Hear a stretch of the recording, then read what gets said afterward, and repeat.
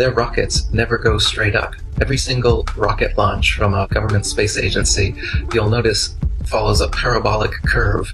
It goes up, it reaches a peak, but what they do is as the rocket starts coming back down, they make sure that it goes down over the ocean, out of the way of any curious observers. Anyone can see it coming back down to Earth asks, hey, how come the rocket's not going up anymore?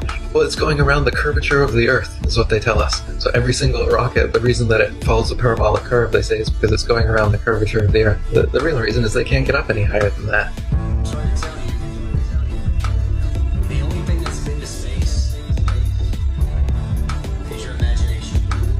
They tell us that the Earth is a sphere. They show us pictures of a sphere, of a circle. It's a perfect circle. And then they come out and they say, well, it's actually an oblate spheroid. Oh, what's that?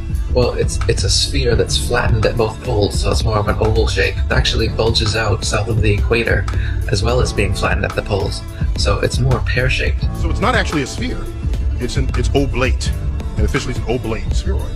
That's what we call it. But not only that, it's slightly wider below the equator than above the equator. A little chubbier. A little chubbier. Yeah. Chubby's a good way. It's like pear shaped. So now it's pear-shaped. So why are all of these official uh, NASA photos and videos showing perfect spheres when it's actually an oblate spheroid or a pear-shaped spheroid?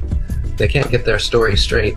The reason they keep changing it is that to fit the model, they have to change the shape of the Earth. South of the equator is larger than north of the equator because lines of longitude that just extend outwards. They don't contract back.